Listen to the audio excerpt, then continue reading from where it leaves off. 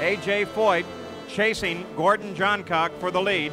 Gordon Johncock wants to make it a second 500 mile race victory. A.J. Foyt would like to make it four.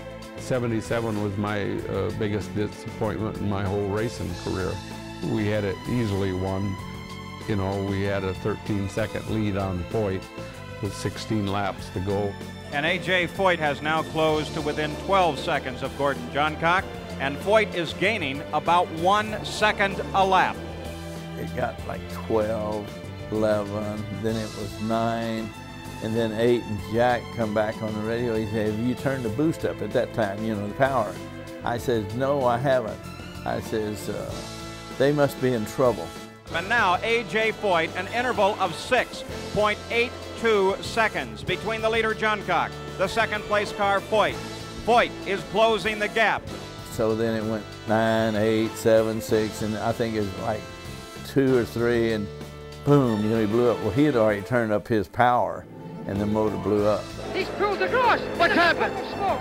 Gordon Johncock, the leader of the Indy 500. It's all over for Gordon Johncock. A.J. Foyt leads the Indianapolis 500. Broke a crank in the car. So I just coasted off in turn one, got out of the car and went down, laid down in the creek to cool off because I was hot. It was a hot day and I was worn out.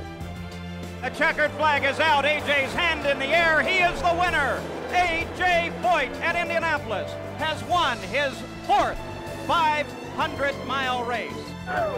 We had our good breaks, we had our bad breaks. I just, and still, I'm just, oh, I just, I can't believe it.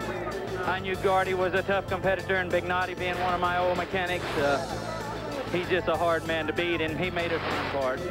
When, when did you know that you really had it? See Gordy on the infield? I didn't know it till I got the checkered flag.